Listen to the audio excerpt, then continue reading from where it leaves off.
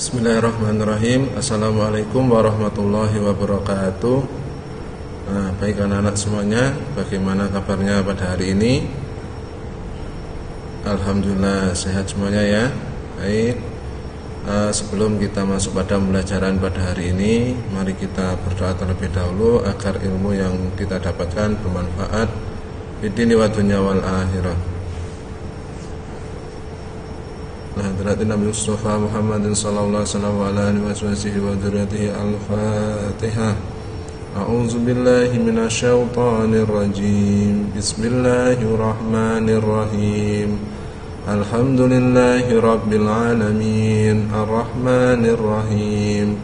مالك يوم الدين. إياك نعبد وإياك نستعين.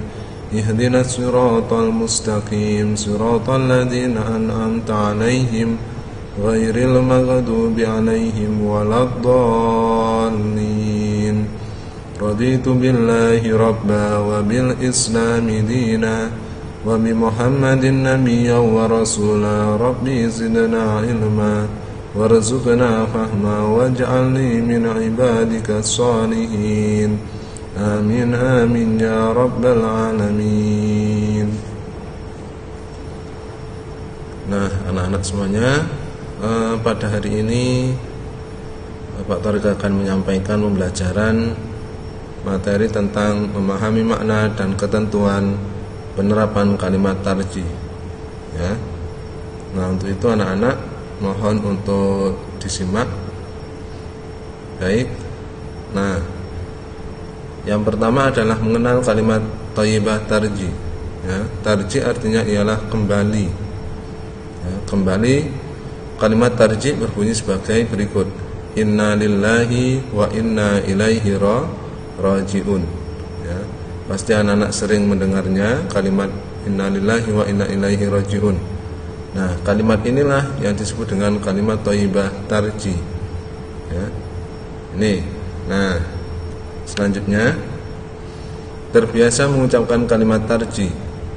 Kalimat tarji sering kita ucapkan ketika terkena musibah. Di antara waktu yang tepat untuk mengucapkan kalimat tarji ialah Satu, menerima musibah ya, Dua, mendengar berita duka Tiga, terjadinya kecelakaan Empat, tertimpa bencana alam Dan lain sebagainya. Nah, ee, dari keempat inilah ya ketika kita mendengar musibah maka kalimat yang kita ucapkan itu adalah kalimat tar tarji. Inna lillahi wa inna ilaihi rajiun. Ya. Nah coba nanti anak-anak e, dibuka Al-Qur'an dan terjemahannya. Surat Al-Baqarah dari ayat 150 sampai 156 ya, di situ nanti terdapat kalimat tarji. Inna lillahi wa inna ilaihi rajiun. Ya bahwasanya uh, kalau kita tertimpa musibah ya maka kalimat yang tepat diucapkan adalah inna lillahi wa inna ilaihi rajiun. Ya jadi bukan hanya mendengar berita berita duka atau mendengar berita uh, berita tentang meninggal ya. Jadi ketika menerima musibah ya ataupun ada kejadian-kejadian tertentu nah maka kalimat yang paling tepat diucapkan adalah kalimat tar tarji inna lillahi wa inna ilaihi rajiun artinya apa? Artinya adalah sesungguhnya ya kami milik Allah dan hanya kepada dan hanya kepadanya lah kami kembali kembali ya. Ini segala sesuatu ini adalah milik Allah ya. Seluruh alam raya dan seisinya ini adalah milik Allah. Nah pada suatu saat nanti akan kembali pada Allah ya. Kita sebagai makhluk ya itu adalah milik Allah milik Allah. Suatu saat kita akan kembali kepada Allah. Kapan itu waktunya kita tidak tahu tidak tahu. Di mana pun itu tempatnya juga kita tidak tahu tidak tahu. Itu semuanya adalah takdir Allah takdir Allah anak-anak ya kita tidak bisa menjauh dari takdir Allah ya ini nah maka dari itu ketika kita menerima musibah atau terkena musibah ya terus mendengar berita duka atau ketika terjadi suatu kecelakaan, tertimpa bencana alam dan lain-lain sebagainya, nah maka kalimat yang paling tepat diucapkan itu adalah kalimat tar tarji ya. Selanjutnya adalah bersabar dalam menghadapi musibah anak-anak. Nah, nah musibah merupakan suatu peristiwa yang menyedihkan. Dengan adanya suatu musibah, manusia sering mengucapkan kalimat tarji karena sesuatu itu pasti kembali kepada Allah. Ada tiga macam musibah yang diberikan oleh Allah kepada hambanya. Ya, tadi sudah saya singgung bahwasanya ya segala sesuatu yang ada di alam raya ini dan seisinya itu pasti akan kembali kepada Allah ya. Karena semuanya ini adalah milik Allah milik Allah. Nah pasti nanti akan kembali kembali. Entah kapan kita tidak tahu kita tidak tahu. Nah tiga macam musibah yang diberikan oleh Allah kepada hambanya. Yang pertama satu sebagai cobaan atau teguran. Hal ini biasanya diberikan kepada hambanya yang berim, beriman. Ya ini. Terus yang kedua sebagai teguran hal ini biasanya diberikan kepada hambanya yang beriman tapi selalu berbuat salah. Ya. jadi ada sebagai cobaan ya musibah yang wujudnya sebagai cobaan itu diberikan kepada hambanya yang beriman yang taat dan ada juga yang sebagai teguran itu diberikan kepada hambanya yang beriman tapi selalu berbuat kesalah kesalahan. Yang terakhir itu adalah sebagai azab.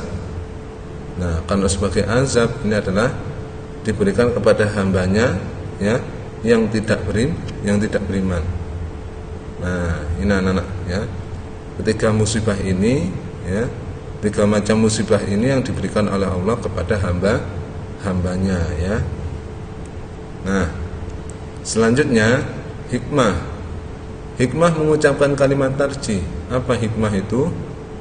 Nah, hikmah itu adalah uh, manfaatnya. Ya, manfaat mengucapkan kalimat tarji. Yang pertama, satu, mendapat keberkahan hidup. Ya, hidup menjadi berkah, hidup menjadi nyaman, enak. Nah, itu karena manfaat mengucapkan kalimat tar tarji. Yang kedua, mendapat rahmat dari Allah. Mendapatkan kasih sayang dari Allah, dari Allah. Ya, hidupnya menjadi enak, senang, tentram, damai. Ya. Ini ini adalah wujud dari mengucapkan kalimat tar tarji, ya. Terus yang ketiga, mendapat petunjuk dari Allah. Terus yang terakhir terhindar dari sifat som sombong, ya. Ini Coba kalau kita renungkan anak-anak, ya, segala sesuatu yang ada di dunia ini bukan hal yang kekal, ya, bukan hal yang abadi.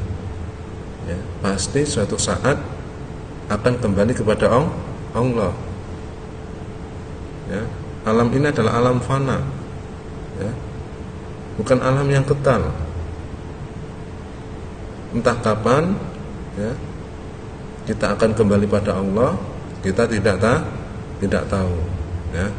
Ini maka kalimat yang paling utama ketika kita mendengarkan berita duka ya kemudian mendengarkan adanya sebuah musibah ya ataupun ada kejadian-kejadian tertentu nah maka kalimat yang paling baik diucapkan itu adalah kalimat tar tarji. Inna lillahi wa inna ilaihi rojiun ya.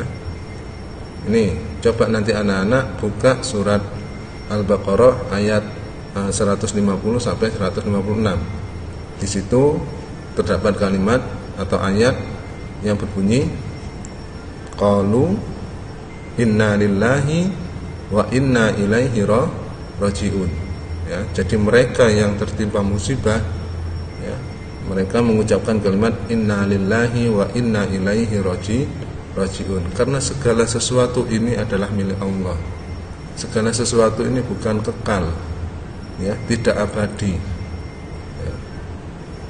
ini seluruh alam raya ini tidak kekal ya, tidak kekal anak-anak tidak abadi pasti suatu saat akan kembali pada Allah. Kita juga pun akan kembali kepada Allah. Nah, kalau kita kembali kepada Allah, apa bekal kita? Ya, bekal kita yang akan kita bawa itu apa? Bukan bukan uang saku yang banyak, bukan. Ya. Bukan makanan yang enak itu bu, bukan. Tapi amal ibadah kita lah yang akan kita bawa. Kita bawa. Sholatnya bagaimana? Puasanya juga bagaimana? zakat dan sodakohnya juga bagaimana ya inilah bekal yang akan kita bawa nan, nanti anak-anak ya. Ini. Nah. Untuk itu anak-anak ya. Uh, Pak Torik minta sholatnya harus lebih jat uh, lebih ditingkatkan lagi. Ya sholat puasa zakat dan sodakohnya lebih ditingkatkan lah lagi. Ya jangan sampai uh, jangan sampai lupa. Jangan sampai lubang sholatnya ya terutama sholat su, subuh itu yang paling su, susah. Ini anak-anak ya. Selanjutnya nah baik anak-anak semuanya. Terima kasih ya. Uh, dari Pak Torik saya ucapkan terima kasih. Kemudian kalau ada kesalahan ya Pak Torik minta maaf yang sebesar-besarnya ya. Mungkin uh, untuk menambah wawasan anak-anak anak-anak boleh uh, membaca melalui internet ya, tentang kalimat tar tarji. Silahkan tidak apa-apa. Agar menambah wawasan dan pengetahuan kali kalian. Baik uh, Pak Tarik akhiri kurang lebihnya mohon maaf. Assalamualaikum warahmatullahi wabarakatuh